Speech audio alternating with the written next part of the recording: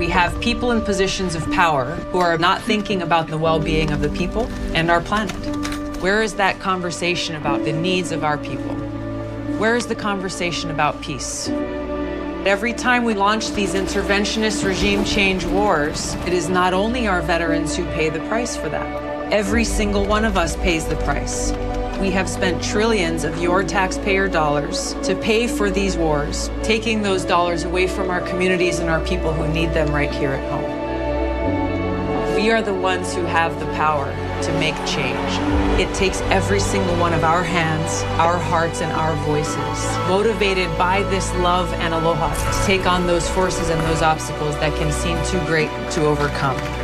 There is no force more powerful than love.